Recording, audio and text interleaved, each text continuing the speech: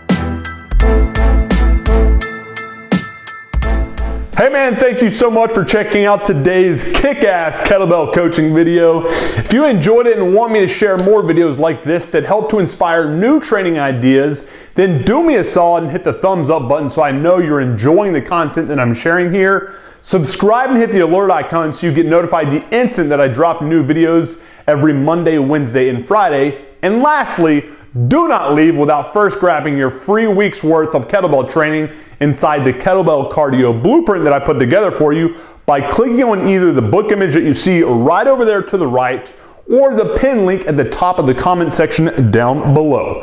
Appreciate your time, guys. Have a good one. Mandler out.